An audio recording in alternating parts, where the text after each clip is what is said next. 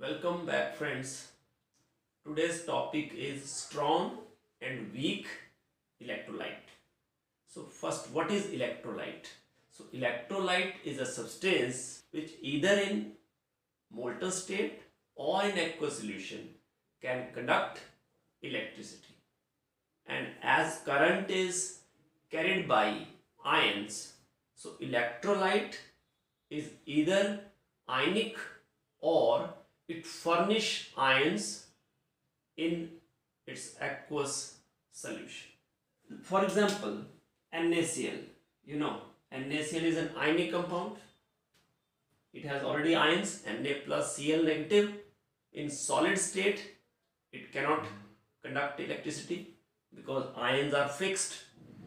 But in molten state, ions are free to move. It gives Na plus and Cl negative ion. That's why NaCl is a good conductor of electricity in molten state.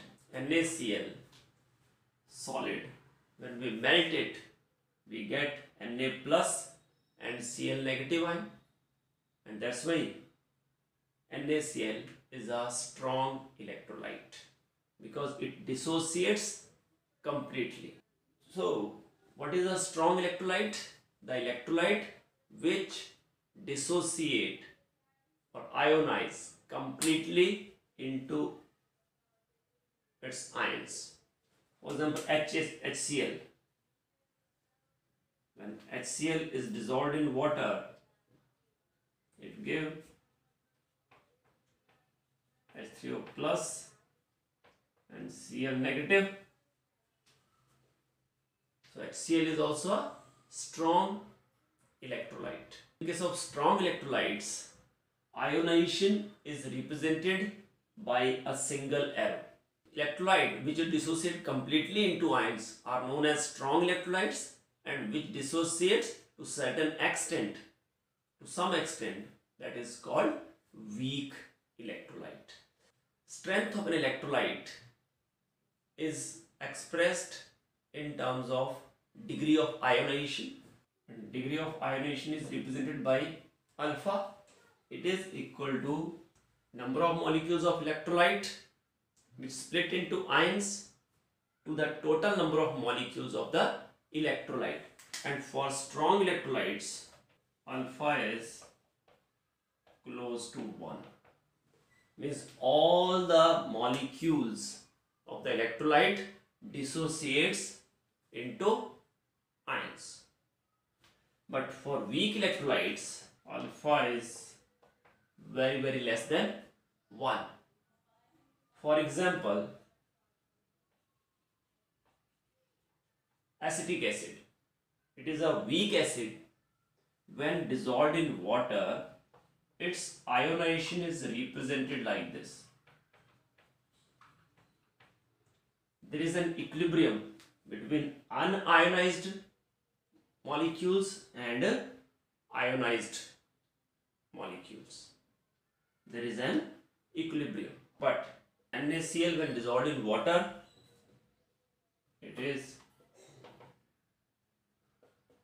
represented like this it is expressed by single arrow and it is represented by double headed arrow.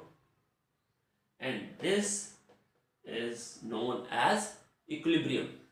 In weak electrolytes unionized form and ionized form is in equilibrium.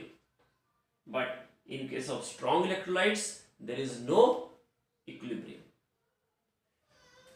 It is in equilibrium only when we have a saturated solution of strong electrolytes.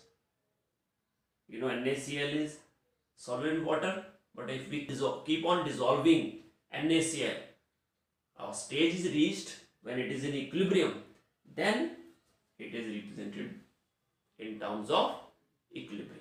If solution is dilute then weak acid weak base weak electrolyte is expressed in terms of equilibrium but strong electrolytes is expressed by single arrow. Weak acids, weak bases, and few salts are weak electrolytes. And strong acids, strong bases, and most of the electrolytes are strong electrolytes.